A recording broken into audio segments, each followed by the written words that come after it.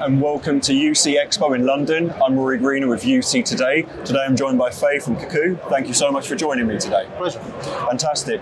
So to start us off, could you perhaps tell us what brought you to the Expo today and some of the trends that you've noticed here? For, absolutely. So, fortunately, I was invited to speak at one of the one of the uh, fireside chats, of which I've just concluded.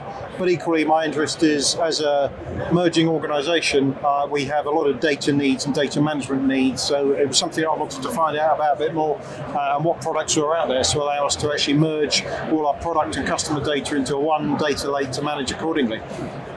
Fantastic. And in terms of your personal experience, what, what security considerations must a company ensure to successfully deploy digital workplace solutions, whatever they may be? Absolutely. Uh, so, from my perspective, you understand the regulations and standards that you have to comply towards. So, for example, if it's payment card information, PCI, if it's you know Ofcom regulations. Uh, uh, information retention rules, so seven years for accounting data.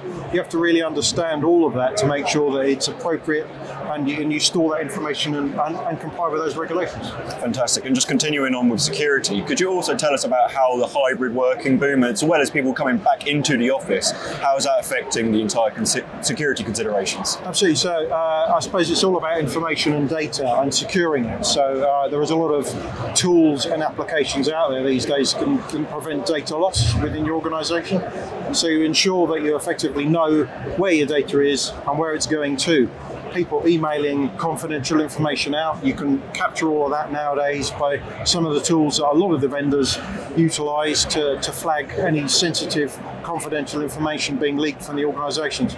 And you have to make sure you, it's flagged quickly and that uh, you can prevent significant leakage from happening. Fantastic. And finally, could you perhaps discuss some of the challenges you're facing while deploying these digital workplace solutions, and also how are you solving those challenges, and perhaps how are some of the emerging technologies that we're seeing today, how is that helping you solve those challenges equally? Absolutely. So, from from my perspective, obviously it was quite a change and quite a significant change, mainly due to COVID. So, a lot of people went from day-to-day office working to suddenly having to spend all their time from home. Um, and the technologies have supported that. However, it's been quite a steep learning curve for people. And so long as you had friendly operators that were there to support the individuals who maybe weren't quite so tech savvy, didn't quite understand the tool set, you, you then allowed them to carry on doing their jobs. Uh, what I, what, one of the objectives of any change is to ensure that adoption is, is, is had, is actually completed successfully. So if you don't get people to adopt the change, there's really no point in doing the change in the first place. So make sure there's a good plan in place to make sure that adoption is wholly, wholly uh, uh adapted and, and, included within your organisation.